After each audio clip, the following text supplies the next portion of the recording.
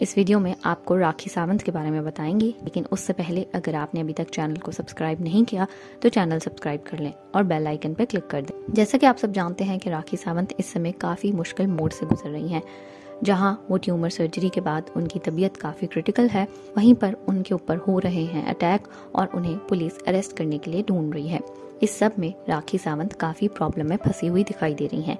इसी सब के बीच में राखी सावंत की एक न्यू वीडियो सामने आई है। राखी सावंत के इस वीडियो में देख सकते हैं कि वो अपनी सर्जरी के बाद बहुत ही क्रिटिकल कंडीशन में है और वो इवन के बैठ भी नहीं पा रही और खड़ी भी नहीं हो पा रही।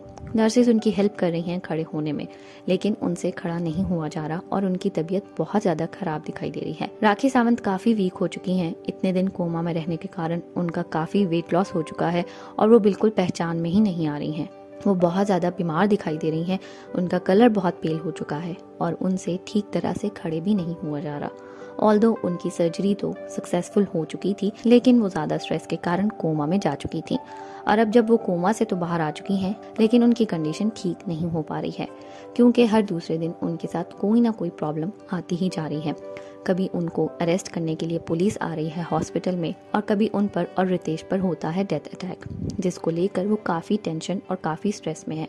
हम आशा करते हैं कि राखी सावंत बहुत जल्दी ठीक हो जाए। We wish her a speedy recovery और इसके साथ साथ उनकी लाइफ की ये सारी प्रॉब्लम्स भी ख़त्म हो जाएँ। आप इस सब पर क्या कहना चाहेंगे? हमें कमेंट्स में बताना ना भूलिएगा।